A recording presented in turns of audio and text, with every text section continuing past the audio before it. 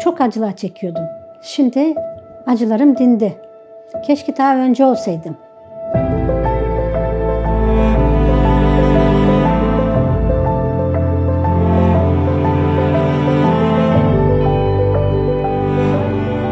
Hatice Çetinkaya, 66 yaşındayım. 5 sene önce ağrılarım başladı. İlaç kazıttım. Faydasını görmedim. İstanbul'a gittim yine görmedim. Buraya geldim faydasını gördüm. Allah razı olsun. E, ameliyat oldum. Başarılı geçti. Ameliyatımdan çok memnunum. Doktorumdan da çok memnunum. Ameliyattan önce çok acılarım vardı, ağrılarım vardı. Şimdi geçti.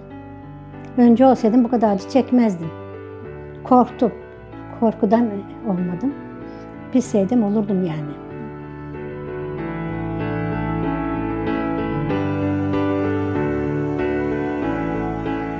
Ya acı duymaktan. Çok acı çektim beş sene. O yüzden acıdan korktuğum için gelemedim güvenip de acı çekeceğim diye. Oturup da ağlıyordum çocuk gibi. Şimdi iyiyim. Bir arkadaş olmuş 10 sene acı çekmiş, ağrı çekmiş. Şimdi burada doktorda ameliyat olmuş. Bana önerdi, te- teselli verdi. Benim güvencim yerine geldi. O zaman rahatladım. Yani korkum gitti. Çok şükür Allah'a. İyiyim yani. Korkulacak bir şey yokmuş. Hepsi güzel geçti. Yürüdüm. Merdivenlere çıktım. Çok güzel geçti. Memnunum. Kayhan Turan iyi bir doktor.